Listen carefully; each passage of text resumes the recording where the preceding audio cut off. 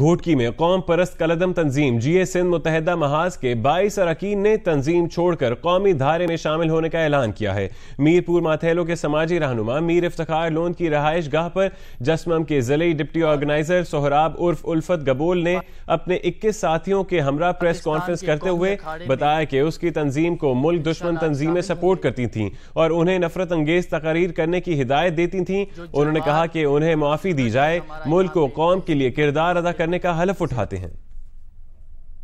घोटकी का उसमें काफ़ी नौजवान हैं जिन्होंने